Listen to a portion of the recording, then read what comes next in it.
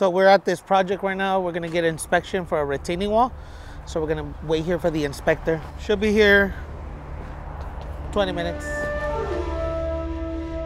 See, it's all branding, branding. It's all about the branding, even when we're not here. So on this project, we had about 14 concrete trucks coming in for the shotcrete. Three concrete trucks got delayed, so we were pouring concrete at nine o'clock at night. So the cops got called by the neighbors. And I spoke to the cops and I told them, hey man, I'm sorry, but I can't stop the concrete. Like, even if they're there till 10, like it's not, it's out of my hands. The concrete needs to get poured because the rebar. I could have ruined this whole pool if it wasn't finished. Luckily, I ended up with three tickets citations, but we were able to finish the pool. There's a city ordinance that you're not supposed to wor do work after 5 p.m. or 6 p.m. They were called out because it was 6 o'clock and we were still pouring concrete. I had to, I, could, I couldn't stop. So I had to make the decision and say, you know what, keep going. And I spoke to the officer, he was cool, but he said, there's nothing I can do. If they call me back, I'm gonna give you another ticket. And then on the third ticket, he said, if I come back, it's gonna be a misdemeanor. I was like, damn, am I going to jail? like, uh, just trying to build a pool. But luckily, uh, at the third ticket, we were able to finish all the concrete. And, you know, I, I lost, it was like $500 in fines, but it was $500 or ruin a $100,000 pool. I mean, there was no brainer. So it was on this busy street. It's like the concrete truck was here, we we're pouring the shotcrete. And dude, the neighbor, like three houses down, she started calling the cops. And I was in Orange County, so when they called me, I couldn't come out. So I was just on speakerphone with the cop and just telling him, hey, we need to get it done. I understand the rules and, and I've never had this happen to me, but I cannot stop pouring the concrete because it's already, you know, the rebar, the it was, it was gonna mess up the whole structure of the pool. So I took my chances and we ended up finishing it. So but yeah, this was a street and you always want to be the representative of your project. So it was me talking directly to the officers, trying to talk to the neighbor that called the cops too and said, hey, I'm sorry.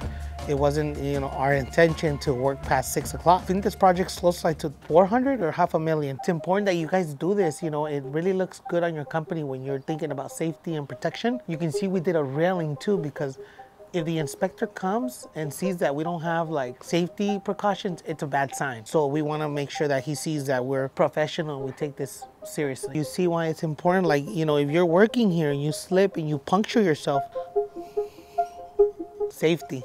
No water bottles, no Coke cans, no beer cans, safety caps. You know when somebody walks into your house or you walk into somebody's house and it's a fucking mess and you're already like, uh, I want the inspectors or even my customers to come and see a clean job site. It just represents you in a good uh, light. You're responsible, you're clean. There's so many job sites I've been to that it's just like a junkyard, trash everywhere, wrappers, beer cans, it's just a mess. So cigarette butts, you wanna keep your job sites clean. These safety caps, I think they're like around a dollar. And some contractors don't wanna spend that. And it's like, dude, do you know how much it would cost you for emergency room visit if one of your guys get punctured by one of these rebars? You know, you gotta spend the money. It's your business, you gotta invest and you protect yourself from any liability. So me buying these, it's saving me thousands of dollars of potential risk of somebody getting hurt. Like you can literally sit on this. I wouldn't, but you can literally sit on it.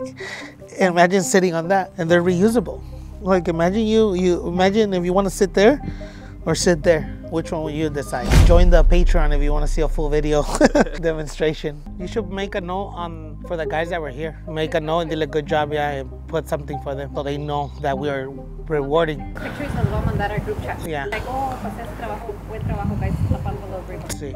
Yeah, imagine if this wasn't on here, like you can really hurt yourself here. Good job on the crew that's here for safety. Pero a ir de 10 a 12. Quiero que ahorita pase primero. ¿Sí? A las 10. ¿Quieres que lo espere entonces? Sí, por favor. ¿Algo más? Oh, they put this railing. ¿Qué onda, Jorge? So here we're doing a whole infinity pool, retaining wall, fire pit. Right now we're getting ready for the inspector uh, to get here. Inspect the rebar, inspect the key. Right now I'm just gonna check the measurements with Guapo, because you never know. Gotta make sure. Uh, usually they, the guys do it. Guapo talks to the inspector. Todo muy. ¿Cuántas? 438. ¿De?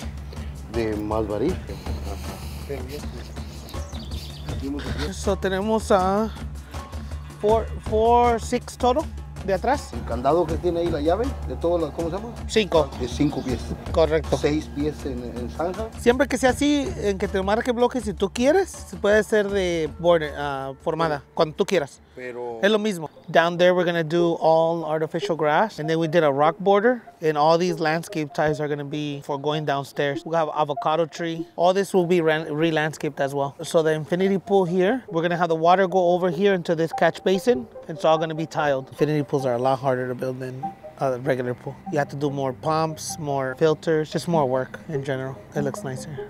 And then the caissons too. When they're on a hill, it's like uh, big holes full of rebar and cement that go all the way down 20 30 feet exactly like a foundation. So right here we already did the plywood so we're forming for the concrete steps. So when my concrete truck comes we're gonna pour these steps all at once with the top. So you know part of construction is being efficient and once you have the concrete truck here you want to make sure that you maximize the space for it and the time. So all these steps are to be poured. So i get everything ready for concrete and once the concrete comes we get everything done at the same time trying to be efficient. So this hillside was unusable. So now we have it all spread out and the client's gonna maximize his uh, space here. California's expensive. You wanna make sure that you're using all your real estate. That's why landscaping and having a vision, design, and architect is important because we'll maximize the space. We have a landscape architect on this project, a very known architect. I developed Rosewood to be custom custom projects like this, you know, that take three to six months to complete just because there's a big demand here. They want to deal with one contractor. So we are the swimming pool contractor, the landscape contractor, and the concrete contractor. So we basically take care of everything that has to do with the outside of the project. That's something that we take care of. A lot of companies just focus on one trade and that's fine. But you know, in, in my market, it was more beneficial to me just to take on the whole projects outside, managing. And it's not convenient for a lot of people. You know, some people are better off just doing trees and sticking the trees and growing the tree division. For me, like I said, my market demanded this. So this is what, you know, I grew into. But for some people, just having one trade, whether it's painting, stick to painting, and, and they're probably better off. We were able to, so we took care of our client. We installed all privacy hedge here. So down here, there's a trail where a lot of hikers come. Sometimes I like to come here every morning and run my five miles. But uh, here, there's a trail. So he wants the privacy. So we installed all these ficus. As you can see, they're like 14 foot tall, already planted. Nobody has time to wait a year or two to let them grow. So here, we're gonna be doing artificial grass. So you can see all the DGs already compacted. It's ready for the kids to play. It's like a play area. See, they got a nice little bench here. We were able to salvage all this stone and create a retaining wall for the hillside. So he's very happy with this project. We're happy with it. And that's what it is, you know, making sure we take care of our clients. So before, the way we used to do it, my guys used to go pick up materials at the building supply store, they would spend two hours, burn my gas, burn my insurance, all the liability, and then they would come all the way to the job site carrying this, and then they would all unload it by hand. I knew there was a better way, so now we get everything delivered. I pay 200, 250, whatever the delivery charge is, because if you think about it, if it took my guys three hours from start to finish to pick up this material, bring it here, and unload it, for those three hours, I could have had them working at a job site, you know, making almost a thousand dollars to save $250 it doesn't make sense. So always get your materials delivered. Right here we have the waterline tile. We have the block for the wall. Downstairs we have other materials. I always want to have the materials ahead of time. I don't want to be waiting all that time waiting is downtime and you guys need to have everything here so they can get to work. So he was asking me questions about you. Oh really? He said you know this rosewood this danny? And i said oh i know danny great he's awesome. Nice. He's, he does everything i ask. Him no no arguments, no complaints. I go, he's mm. the best of the best. I haven't seen you in a while. Where are you working? Uh, Hermosa Beach, Manhattan Beach. So we just had inspection right now and the inspector came, checked all the rebar, checked the new plans and we are good to go. It's always great news when we pass inspection. Now we can get the concrete ordered and keep these projects moving. So it's important to follow and get a structural engineer because at the end of the day, us as contractors, we want to build something that is gonna last and build something right. So if any, if for any reason that wall were to buckle, you know, we protect ourselves because we say we did it per soils engineer, per structural. So it covers us as a contractor from any liability because we're building it to the specifications. So when we get these projects, you know, first it comes with the design and then from the design we get structural and soils engineer. So it's a lot of things, you know, in motion to create these projects. It's just not like a little drawing and you're done. There's a lot of different people involved to get these projects from start to finish. On the cities we work for, when they require the engineer, we send the plans to the engineer. They get the soils report And then from the soils report, the structural engineer creates his report and his uh, plan, and then we follow his plan and actually build it on site. That's exactly the, the order that we need to go. Then the inspector comes and gives me a sign up. He came already, everything good. He checked the rebar, the spacing, the sizes, and it's important that you have a clean job site because that tells everything. You can see everything's nice and clean. He even told me that, you know, congratulations on the clean job site, that he usually sees, you know, a lot of messy people and that we always keep the job sites clean.